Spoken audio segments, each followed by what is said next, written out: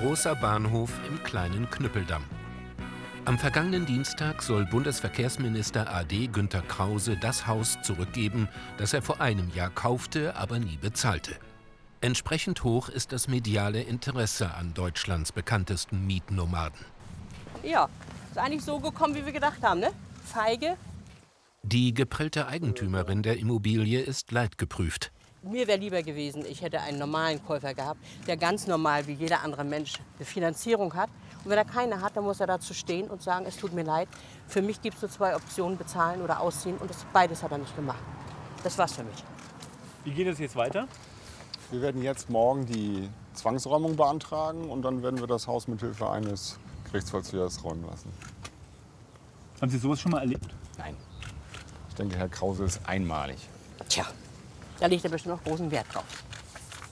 Gott sei Dank gibt es ihn auch nur einmal. Zum vereinbarten Termin erscheint Krauses Anwalt, DDR-Innenminister AD Peter Michael Diestel. Wo Mandant Krause ist, bleibt unklar. Wo der Schlüssel zum Haus ist, auch. Sie waren ja schon mal hier, Ja. Der Einzige, der fehlt, scheint mir Herr Krause zu sein. Und Frau Krause, ja. Und der Schlüssel. Ja, und der Schlüssel. Mein Schlüssel könnt ihr kriegen, aber seinen habe ich nicht. Das äh, kommt jetzt nicht ganz unerwartet. Unerwartet kommt auch der bodenlose Fall des Günter Krause nicht. Es ist der Tiefpunkt im Leben meines Mandanten. Ich glaube, das Glück hat ihn verlassen. Der liebe Gott hält seine Hand nicht über ihn im Moment. Er hat früher sehr intensiv über ihn gelassen. Und das ist im Leben so. Da gibt es mal ein Auf und ein Ab. Und dieses ganz, ganz tiefe Ab von Herrn Professor Krause tut mir leid. Dabei war Sause Krause mal ganz oben, schrieb sogar deutsche Geschichte hier bei der Unterzeichnung des Einigungsvertrages. Auch im vereinten Deutschland macht Krause Schlagzeilen. Erst als Bundesminister, dann als Affärenrekordhalter. Herr Krause, warum sind Sie noch nicht zurückgetreten? Bitte Sie. Einer seiner Söhne düst mit Papa im Bundeswehrjet in die USA. Dummerweise hatte der Herr Minister vergessen, die Reise abzurechnen. Können Sie uns sagen, was Sie in San Francisco gemacht haben? Es folgen die nächsten schmutzigen Geschichten. Erst lässt Krause den privaten Umzug vom Staat bezahlen, dann seine Putzfrau vom Arbeitsamt. Zuschuss für die Putzfrau, wie erklären Sie sich das? Und dann gab es noch die Jeep, die Schwarzarbeits- und die Raststättenaffäre. Herr Krause, wollen Sie nicht gehen oder lässt man Sie nicht gehen? Noch kurz vor seinem Rücktritt schließt er einen Rücktritt aus. Seit zweieinhalb Jahren versuchen Sie mir irgendwelche Schweinereien zu unterstellen, Sie und Ihr Sender. Sie bringen mich nicht, Sie bringen mich nicht aus der Ruhe. Überhaupt nicht. Vom Politiker zum Bauunternehmer. Mit seiner Firma Aufbau Invest will er günstige Volkshäuser verkaufen.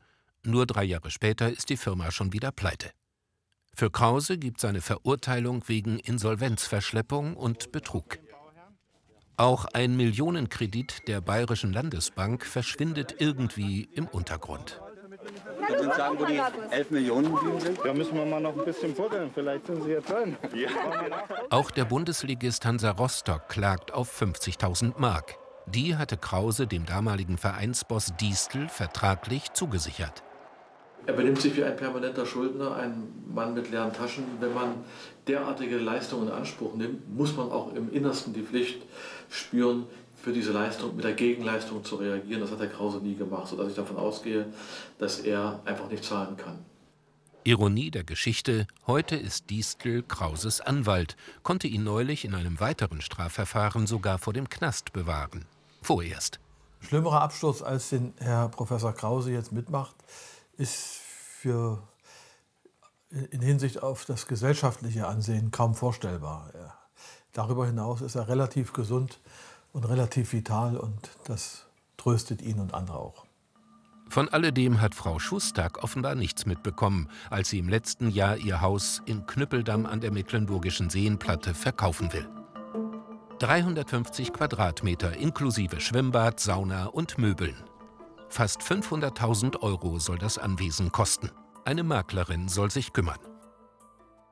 Zwei oder drei Tage später rief sie mich dann schon an und sagte dann, das ist aber Krause. Aha. Ja, Günther, Günther Krause. Ich sag, sollen wir das jetzt was sagen? Also ich muss jetzt wirklich so sagen, ich habe es in dem Moment nicht gewusst, wer er ist. Naja, jedenfalls haben wir den Termin dann gemacht und die traten dann auf und hatten gleich ihre Hausschuhe mit. Dann kam man ins Kaminzimmer rein. Das ist ja toll, das ist ja super. Und dann ging er noch eine Treppe weiter runter. Da war dann das, der Wintergarten und Heike, das nehmen wir. Krause macht Druck. Der Verkauf wird beurkundet. Nur bezahlt wird nicht. Verkäuferin Schustag zeigt sich großzügig, lässt Krause trotzdem im April vergangenen Jahres einziehen. Bei einem exklusiven Interview vor sechs Wochen schildert Sause Krause seine Sicht der Dinge. Wie immer nimmt er es mit der Wahrheit nicht so genau. Für Frau Schustag ist es Ist eine unangenehm. sehr unangenehme Situation. Unangenehme Situation. Auch für Also Familie Krause äh, auch unangenehm, Herr Müller. Auch für Familie Krause. Das ist für beide Seiten unangenehm. Am 21. April war der Standpunkt von äh, Familie Schustak, wir brauchen das Geld nicht unbedingt. Aussage. Wir brauchen das Geld nicht unbedingt. Deshalb kommt es uns nicht auf einen Tag an. So, und dann wurde Naja, die, aber es sind 365 Tage nun fast. es sind überhaupt nicht 365 April Tage. Also wenn am 21. April Familie Schustak unterschrieben hat, dass sie damit einverstanden ist, dass natürlich noch eine Zeit lang ähm, der Kaufpreis ausbleiben wird, dann sind das nicht 365 Tage oder ich kann nicht rechnen. So oder so, am vergangenen Dienstag kommt weder Geld noch Krause. Die gerichtlich verfügte Zahlungsfrist verstreicht, ebenso wie die daraufhin festgesetzte zweiwöchige Übergabefrist für das Haus an die Schustacks. Alles nur Show. Vom Sausekrause zum Pleitekrause. Der Herr Bundesminister AD ist derweil untergetaucht. Er versteckt sich an diesem Tag im 119 Kilometer entfernten Kirchmöser. Herr Krause, dürfen wir mal fragen, warum Sie heute nicht ausgezogen sind? Warum sind Sie denn heute nicht ausgezogen? Sie hatten doch eine Frist. Das hatte ich doch jetzt nicht drauf geantwortet. Können Sie es mir kurz erklären vielleicht? Ich kann es Ihnen nicht erklären. Demnächst kommt der Gerichtsvollzieher zu Krauses. Wieder einmal.